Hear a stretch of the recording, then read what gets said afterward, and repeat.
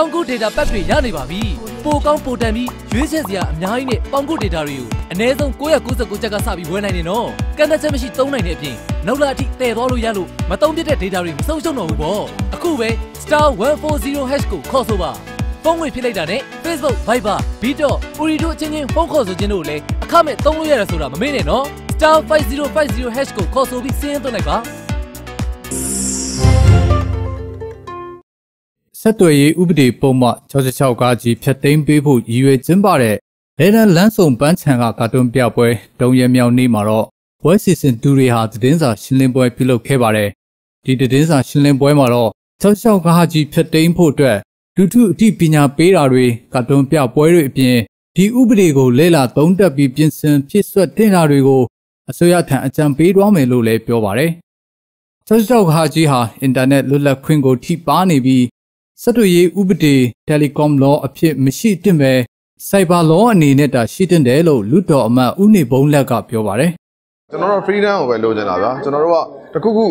ဟို online မှာတခုခုရေးတယ်ဆိုရင်တော့မှကိုယ့်ကိုလေရေးတဲ့မရေးတဲ့ဆိုတော့ကိုယ့်ရဲ့စင်ကျင်တော်တရားနဲ့ပဲကိုယ်ဆုံးဖြတ်ချင်တယ်အဲ့လိုမဟုတ်ဘဲနဲ့အခုကကျွန်တော်တို့ကတခုခုရေးတော့မယ်ဆိုရင်6ရောက်ကာကြီးဆိုတဲ့ဒီစေကြီးက6လန့်တယ်ဟာငါဒါမှရေးလိုက်ရင်ညှိမှာညှိမှာအဲ့ဒါကြောင့်မလို့ကျွန်တော်ကတော့6ရောက်ကာကြီးကိုကျွန်တော်မကြိုက်ဘူး နော်စန့်ကျင်တယ်နော်ဒီ Telecom law တွေကနေပြီးတော့လုံးဝဖြတ်ပြီးတော့လိုအပ်ရင်လည်းအခြားဒီ Cyber law လိုဟာမျိုးမှာထည့်ပါဆိုတာမျိုးပေါ့နော်အဲ့အဲ့လိုပဲကျွန်တော်ရက်တီကြကအဲ့လိုပဲကျွန်တော်ရက်တီထားတယ်ဆက်သွယ်ရေးဥပဒေစတင်ပြဋ္ဌာန်းလိုက်တဲ့2023ခုနှစ်ကစလို့အခုချိန်ထိထက်ကြောက်ခဟာကြီးနဲ့တရားစွဲခံရတဲ့အမှုပေါင်း69မှုရှိခဲ့ပြီးလက်ရှိအစိုးရလက်ထက်မှာတင်59မှုရှိခဲ့တယ်လို့ဆက်သွယ်ရေးဥပဒေပြင်ဆင်ရေးလှုပ်ရှားမှုပူးပေါင်းအဖွဲ့ကဆိုပါတယ် 66ခါကြီးဟာဘယ်သူကမှအကာအကွယ်မပေးနိုင်တဲ့အပြင်အဖွဲ့အစည်းတစ်ခုနဲ့တစ်ခုအကြားလက်နက်တစ်ဖွဲ့ကျင့်သုံးနေကြတယ်လို့ဝေဖန်သူကဦးဟန်စောပါ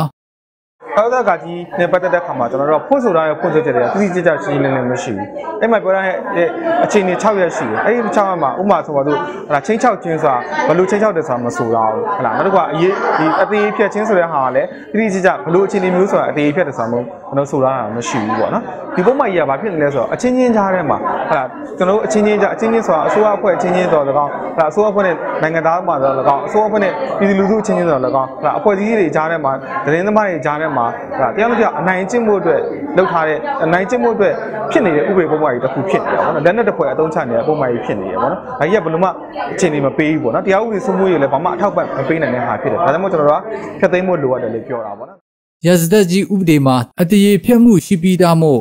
ဆက်သွယ်ရေးဥပဒေပုံမှ66ကဟာကြီးမလိုအပ်ဘူးလို့လည်းမဝေဖြိုးမြင့်ကပြောပါတယ်။